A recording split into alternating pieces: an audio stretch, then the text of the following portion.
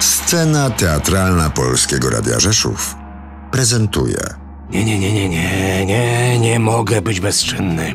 Muszę znowu zaprząc się do roboty. Muszę.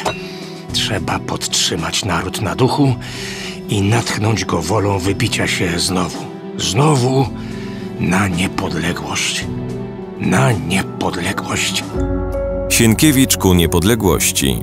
Słuchowisko w adaptacji i reżyserii Cezarego Morawskiego na podstawie sztuki Kazimierza Brauna. Dzieło przedstawia chwilę z życia i myśli Henryka Sienkiewicza w czasie odradzającej się niepodległości Polski oraz opowiada o jego wyborach i wielu ważnych doświadczeniach. Życzę wam wiktorii! Życzę jej wam i sobie! I wszystkim Polakom! Wszystkim Polakom! Błogosławię wasz czyn i was samych! Bogiem! Z Bogiem, panowie! Słuchowisko Sienkiewicz ku niepodległości w Polskim Radiu Rzeszów w środę 11 listopada o godzinie 19.